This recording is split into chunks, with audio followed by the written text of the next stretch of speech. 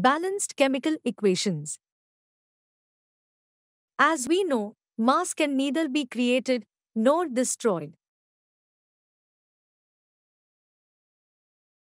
This law applies to a chemical reaction too.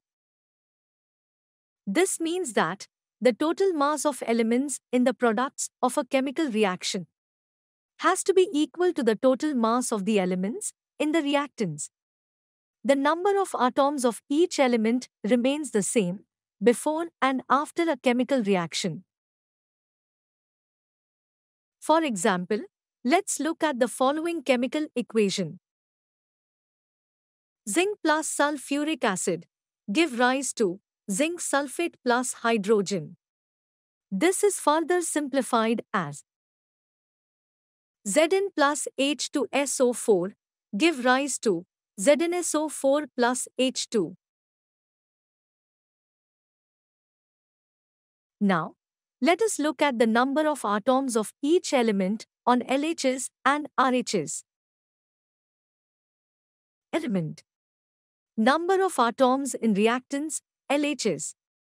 Number of atoms in products RHs. Z in zinc 1 1.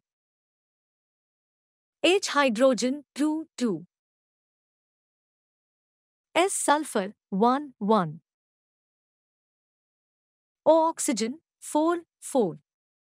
As you can see, the number of atoms of each element on LHs and RHs are the same.